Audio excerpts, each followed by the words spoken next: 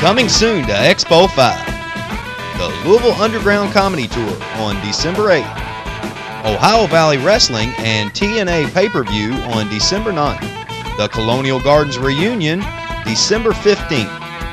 Wacky's New Year's Eve celebration, December 31st. The Toy Tiger Reunion, January 20th. Find more info and all the live events at Expo 5 online at expo5.com. One night, one party, one venue, Expo 5.